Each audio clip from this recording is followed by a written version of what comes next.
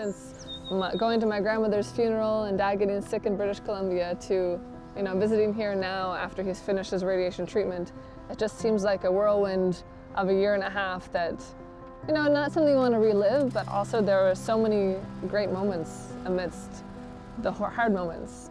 Seeing what the heart pump could do to extend life, it's a, it's a pretty great gift.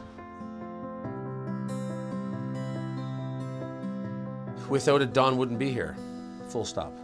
They've evolved tremendously. What Don has is a very small device relative to what used to be something on the order of a bypass machine.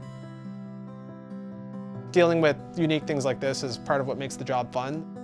I remember when I was a medical student, patients with that type of device actually lived in hospital.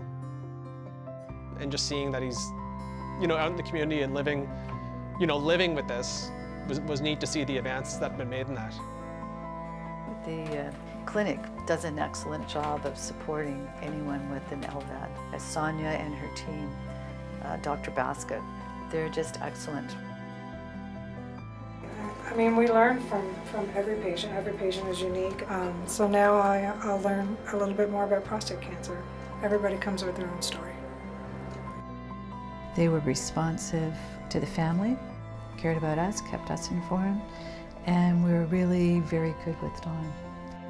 And the fact that Don has um, a positive social network as well as a positive outlook on life are essential to his health and well-being.